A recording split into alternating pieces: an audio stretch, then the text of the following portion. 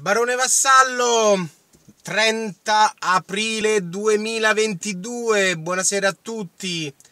Allora, siamo all'ultimo giorno delle restrizioni assolute. Da domani teoricamente niente più sacro feticcio in alcuni ambienti chiusi, niente più sacro feticcio in discoteca, nessuno, nessun sacro feticcio nei supermercati staremo a vedere questi buffoni che cosa porteranno avanti.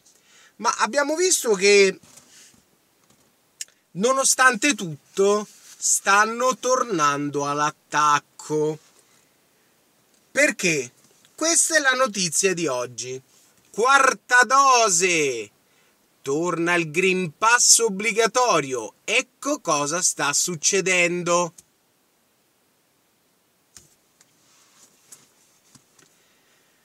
Adesso andiamo a leggere questa notizia. Però dobbiamo fare prima una premessa.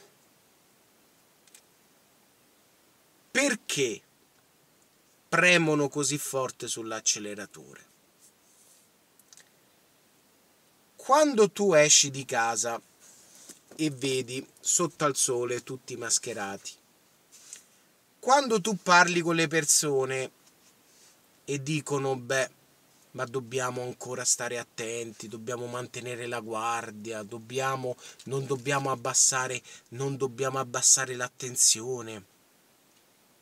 Dobbiamo seguire i consigli del comitato tecnico scientifico, dobbiamo eh, stare attenti a tutto quello che facciamo, ai locali chiusi, alle persone, alle persone che frequentiamo.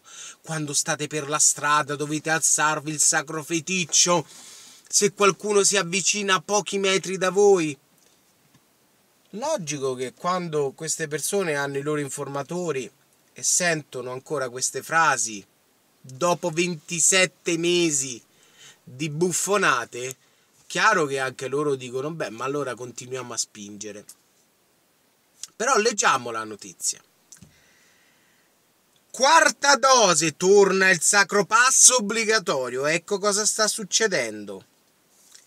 La campagna della quarta dose langue, ma il virus continua a vivere, continua a circolare.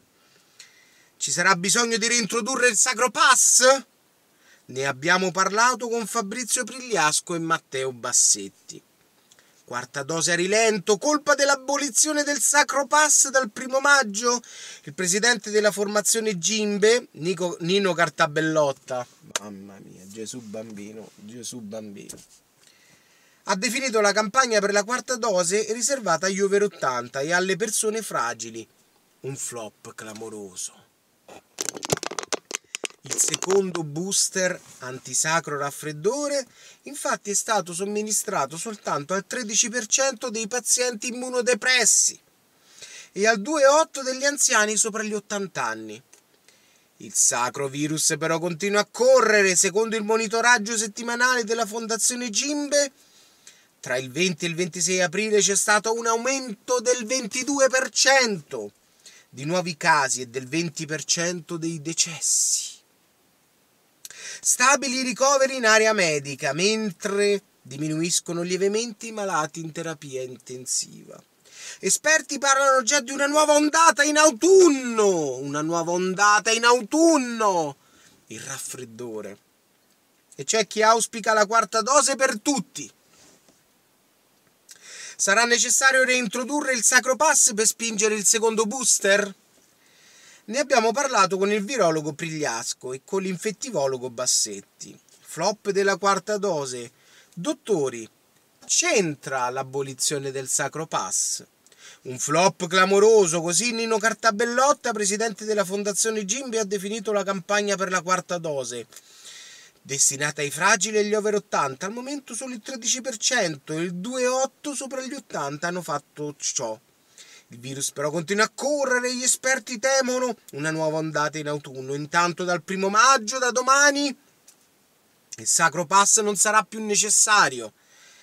Per accedere ai luoghi all'aperto, al pubblico, fatta eccezione degli ospedali e l'RSA. L'abolizione del Sacro Pass potrebbe aver inciso sul flop della campagna vaccinale. della quarta dose. In un'intervista, Prigliasco, direttore sanitario dell'IRCSS, ha spiegato probabilmente l'abolizione del Sacro Pass può aver influito, ma è un peccato perché i soggetti fragili è fondamentale la quarta dose per avere una buona copertura dalle complicanze. Il sacro rimedio infatti non riesce sempre a evitare le infezioni, ma protegge dalla malattia severa. Inoltre la perdita di efficacia del sacro rimedio è più veloce tra gli anziani e gli adulti, ma anche tra i giovani. Vedete come prendono per il culo? Tra allora, tra eh, gli anziani, gli adulti e anche tra i giovani perde di efficacia su tutti praticamente. Però vedete come rigirano bene la frase per prendere per il culo i meno i meno mm, smaliziati in campo nel campo del, delle parole. La quarta dose serve anche per dare un imprinting al sistema immunitario. Ma come? Ci sono fiori di ricerche che dicono che uccide il sistema immunitario, adesso gli dà l'imprinting. Meno male che è tutto scritto. Tra qualche anno ne riparleremo, ne riparleremo nei tribunali. Secondo Bassetti, direttore della clinica di malattie infettive del San Martino, il flop sarebbe dovuto a una carente campagna di comunicazione. Così ha spiegato in un'intervista. Ha giocato una campagna informativa ministeriale carente Prima hanno detto che la dovevano fare tutti, poi i fragili, la comunicazione non ha aiutato e il Sacro Pass non c'entra. Chi doveva fare il secondo booster aveva già ricevuto le tre dosi, era fidelizzato. Quando voi studiate economia, io ho studiato economia, la fidelizzazione del cliente è quella serie di, di interventi, quella serie di di lavoro, quella mole di lavoro che serve praticamente a tenere fidelizzato, ovvero fedele a una marca, a un negozio, una persona. Ecco, loro hanno fidelizzato le persone al sacro rimedio, ma ci rendiamo conto? Alla gente bisogna dire che bisogna benedirsi, perché serve con 70-80 mila contagi al giorno, in ospedale non ci va nessuno, Grazie ai sacri rivedi. Ma il Sacro Pass sarà obbligatorio in autunno per spingere alla quarta dose? Ma cosa accadrà in autunno quando secondo gli esperti i casi potrebbero tornare ad aumentare? Ci sarà bisogno di reintrodurre il Sacro Pass per spingere le persone a sottoporsi alla quarta dose. Secondo Bassetti il ritorno del certificato verde è una scelta politica. Io consiglierei a tutti la quarta dose in autunno. Chi ha fatto le tre dosi è comunque protetto dalle forme gravi, ma è giusto rinvigorire le difese. Negano le evidenze, negano le evidenze, le evidenze dicono altro loro, le negano, le negano palesemente, non gliene frega un cazzo e sapete perché? Perché sanno che tanto non capisce niente il 90% della popolazione. Se servirà a reintrodurre il Sacro Passo in autunno, si tratta di una decisione politica, ma chi ha fatto la terza dose è come se non avesse fatto le prime due. Il ciclo si completa solo con le quattro dosi di siero.